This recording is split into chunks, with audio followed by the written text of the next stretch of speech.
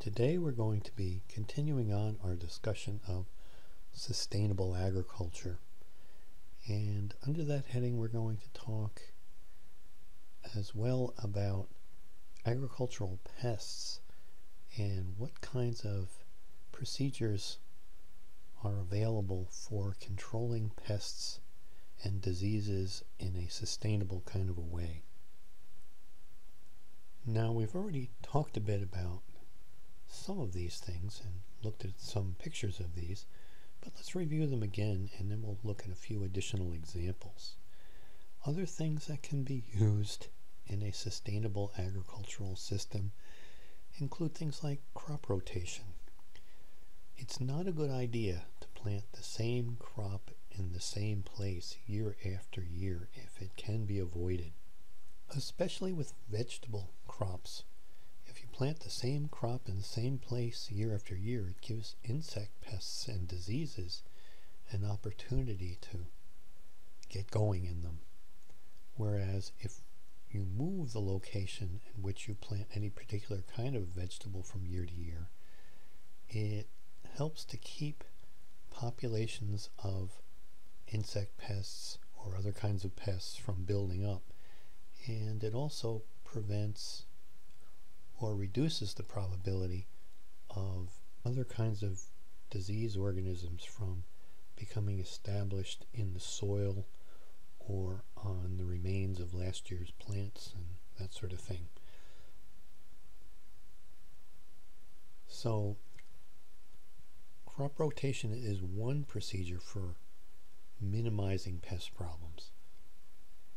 Another kind of procedure involves composting.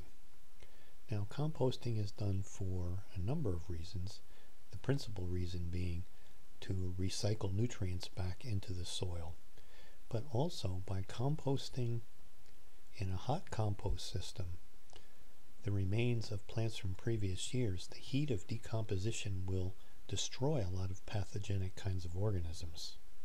Another part of sustainable agricultural systems is mulching, where hay grass clippings or something of that sort is put between rows of crops, thereby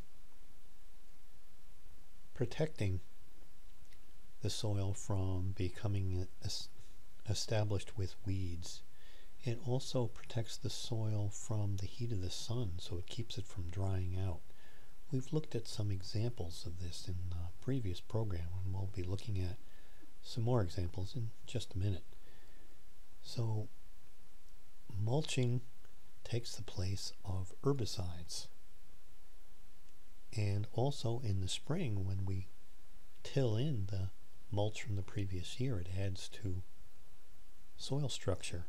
And as it breaks down, it also provides additional nutrients for soil, reducing the need for mineral fertilizers. Another technique that's used quite a bit, especially in corn fields in the Northeast and in other parts of the country as well, is planting what's referred to as green manure. It's a fall crop like winter ryegrass, which is planted so that after the corn has been harvested in the fall, it will continue to grow into the fall and then in the spring, this young grass can be turned into the soil. And again, as it decomposes, provides some nutrients.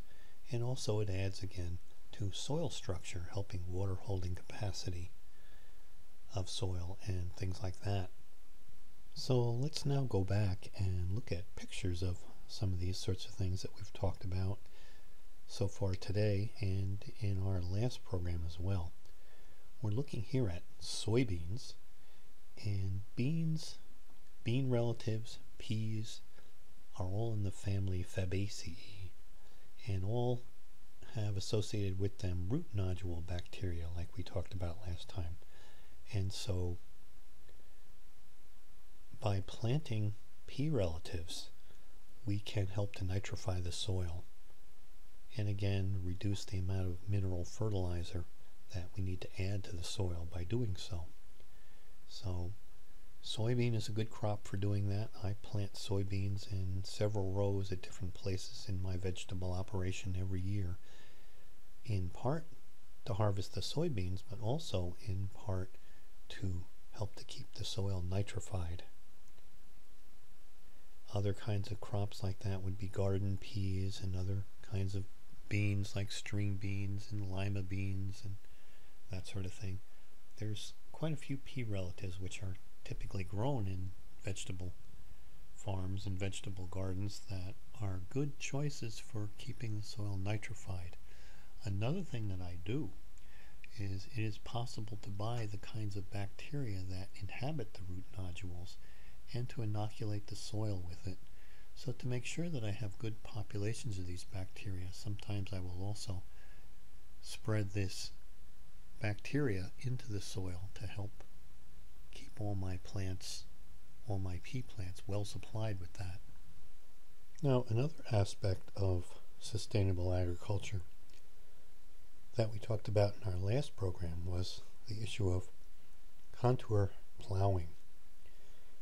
And here you see a hillside in western Pennsylvania that has been contour plowed and planted to crops in a manner that conforms to the contours of the hillside. This is important in terms of reducing soil erosion. Now, a topic that we've also discussed in previous programs has been that of compost. And here we're looking at my compost pile, which is referred to as a cold compost operation, and that it is not confined, and the temperatures within it don't build up to extremely high levels. Although, indeed, they do build up to high enough levels that they can even melt snow in the wintertime. What we're looking at here is the early spring, late winter compost pile where I've begun to pile up dead remains from corn stalks and things like that from the previous growing season. That provides a carbon source. And then during the growing season, as I weed and pull up plants and that sort of thing, the green materials and associated soil that comes with them all gets dumped on top of this, providing a nitrogen source. And between the two, the heat of decomposition will break this stuff down and provide a rather nutrient rich material that I can then spread upon the vegetable operation the following year. Usually takes about a year to produce, at least at the bottom of the compost pile, a good supply of compost ready to be put back on the garden. Now, one other image I wanted to show, we looked at a similar kind of an image in our last program is this one. To again point out mulching between vegetable rows, and you can see between these rows that there really isn't much in the way of weeds coming up here, but it is covered with grass clippings. We'll come back to that white sheet and some of the weedy stuff in the foreground in a bit. which are also parts of sustainable operations. One other thing I might point out while we're looking at this image is that of crop rotation. On the left hand side you'll see a spinach crop and the following year instead of planting spinach in that place I might plant some sort of a pea crop. Now over on the right hand side just before you get to those tall things with the white flower heads. Those are last year's onions, by the way. Just before those, there's a crop of soybeans, young soybeans, and those are planted in an area which the previous year had something else there. I think there was broccoli there the previous year. And so these soybeans are helping to re-nitrify that soil there and also they're producing a crop of soybeans to be harvested. But then the following year, they would be planted in a different location where they could again produce a crop but also help to re-nitrify the soil. Now let's turn our attention to our principal topic of today, which is agricultural pests and disease. Diseases tend to be caused by fungi, bacteria, and viruses in vegetable operations and pretty much any kind of agronomy kind of an operation. These would be the principal disease agents. Pests would include insects, but also other kinds of organisms. Things like slugs and nematodes, which are a kind of worm. Certain kinds of mites, which are spider relatives, as well as larger animals, vertebrates, mice, and voles, and rabbits, and raccoons, and a whole host of other kinds of small, medium-sized mammals, and even large mammals. White-tailed deer are a huge agricultural problem in much of the country, and things like bears and moose can also become problems in vegetable operations depending upon what kind of crop is being grown. Of course, raccoons pretty much just focus on corn, for example. Now, pests and disease, of course, are not just a problem for plants, they're also a problem for livestock. So, chickens are notorious for being affected by a number of kinds of disease organisms. Things like avian influenza is a particularly serious one. Bird flu. When it's transmitted directly from chickens to people, it is pr- particularly virulent. And then there are a whole host of diseases that are just bird diseases, like Newcastle disease. Chickens also get parasites like feather mites and there's a particular kind of lice that just affects birds, they're called bird lice. Cattle diseases include things like brucellosis and coccidiosis and trichomoniasis, which is actually a parasitic worm infection. Bot flies are flies that lay eggs on the surface of the skin, and then as the larvae develop, they, they burrow into the skin both cattle and sheep and other kinds of animals are, all, are also susceptible to liver flukes, which are another kind of a parasitic worm infection. Now, if we talk about plant diseases, several of which we've already discussed, we could add some of our principal agricultural crops like corn corn is susceptible to a whole host of different kinds of insects. It can have stem borers that actually invade the stem, and earworms which invade the ear of corn. And then there are various kinds of fungal infections that will affect the leaves of the plants.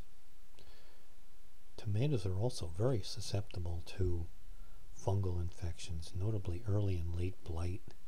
Late blight, in particular, is a major problem.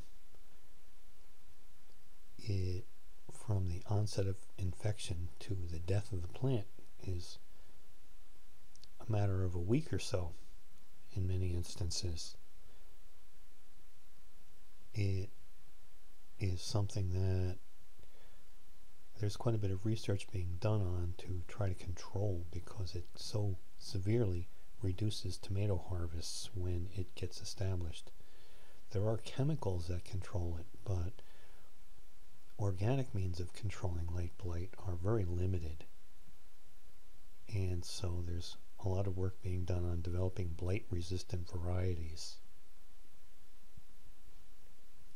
Another common issue with tomato plants is tomato hornworm, which are giant caterpillars that can just strip the leaves from a plant in pretty short order. Although they are eminently more controllable. In smaller operations, just hand picking them is a way. Although one thing that I do which is involved with, as we'll see, integrated pest management, is to leave a border of weeds around my vegetables, which serve as habitat for parasitic wasps, which lay eggs on the backs of the hornworms, which as they develop kill the hornworm. So I've had very few problems with hornworms in my tomatoes, and I plant an awful lot of tomatoes. The hornworms are pretty well controlled by the parasitic wasps. One can also buy parasitic wasps to inoculate one's garden with. So let's focus specifically on this topic of integrated pest management by looking first at this picture here. This is a picture of my part of my squash operation.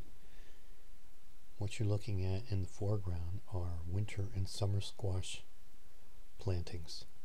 Typically you plant squashes in hills and the plants being vine-like spread out from the hill into the surrounding area. Now this is a spring picture, so most of these plants have just started to spread out. And you'll notice a lot of open space in between them that's covered with mulch. My idea several years ago was that by mulching underneath the plants, that this would help to keep weed problems down help to keep the soil moist. Squashes do like a fair amount of water. However, what I discovered during this season after doing this was that the mulch was harboring some of the worst pests of squashes, notably squash bugs and squash beetles. And here is the enemy right here. This is a squash beetle eating one of my squash leaves. And you can see over on the right hand side some of the damage that it's caused. This plus the squash bug in a different order than the beetles caused enormous damage to the leaves of the plants. Squash bugs in particular with their piercing mouth parts open up the leaves not only to damage but also to infection by bacterial diseases which can very quickly kill a squash plant. And so, in order to gain control of this substantial problem, what I did the following year was something very different. I did not put down mulch, but instead planted between the hills of squash marigold plants and quite a few marigold plants. Marigolds are one of the kinds of plants that helps to discourage insects in the garden. And so as these marigolds matured, they filled up spaces in between the squashes and grew among the squashes. And by eliminating the hiding places of the squash bugs especially as well as planting these plants that help to discourage the presence of these insects I went from having a huge infestation one year to having very few bugs and beetles the following year few enough that I was able to control them just with hand picking every few days I'd go out and pick any that were still in the garden and this resulted in a vastly improved harvest of both winter and summer squash. Winter squash are a bit more tolerant of beetle and bug attacks than are summer squash, but even so, the winter squash can be attacked by some of the diseases that follow up on the heels of insects damaging the leaves of the plants. This practice of growing plants to help discourage pests on vegetables is a practice referred to as companion planting. And there's a number of plants that appear to give some benefit in terms of discouraging insects. In this photograph here, you'll notice that there are some herbs planted among the vegetable rows. So those white flowering plants next to the tomato plants behind them, that is cilantro. And right in the foreground, just behind those purple leaves, is oregano. And next to that is basil. And so herbs can help with controlling certain kinds of insects. There is some debate about the effectiveness of companion planting, and some research projects have indeed shown that some plants thought to have value as companions don't seem to give as much benefit as people say they do. However, in my own experience, some of these companion plantings do seem to be rather effective at controlling at least certain kinds of insect pests. So we can summarize some of these issues in integrated pest management like this. Companion planting, as we've seen in the previous picture, can help with controlling certain kinds of pests. And then physical barriers, like the row cover you see in the center of this picture here and that we've talked about previously, those can help to keep insect pests from getting on certain kinds of crops, notably things like cabbages and other cabbage relatives, Brussels sprouts and cauliflower and broccoli, all those things that are susceptible to cabbage worms. If the moths can't land on the plants, they can't lay eggs on the plants, and then the cabbage worms are eliminated. But in the background, you see a different kind of a physical barrier. You see a fence that goes around this vegetable plantation. This is to keep out larger animals like rabbits and groundhogs. Usually, when putting in a fence, however, it has to be dug into the ground a good foot to keep burrowing animals like groundhogs from going underneath it. A fence does not eliminate climbing animals like raccoons, however, so in that instance, what I've had to go to is an electric fence. Something that when the raccoon touches it gives them an unpleasant jolt, and so they won't climb over the fence. Now, there are still some other kinds of organic practices which are used in integrated pest management programs. One is called predator reservoirs, and that's what I was talking about a while ago. Leaving a row of weeds all the way around the garden, especially certain kinds of weed plants that are known to be habitat for certain kinds of insect predators. So, certain kinds of plants are particularly attractive for parasitic wasps to live in and then from those places they will go into the garden and attack pests like tomato hornworms.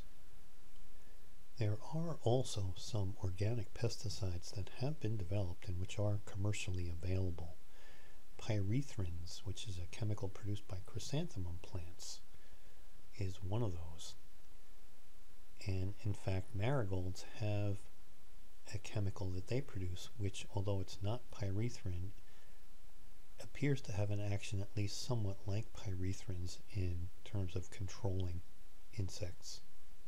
Rotenone is another one that is recognized as an organic pesticide derived from a different kind of a plant, although rotenone has been phased out to a significant degree because it does have some substantial toxicity of its own for people handling it, especially men. It's been associated with an increased risk of prostate cancer. So it is one that I am reluctant to use.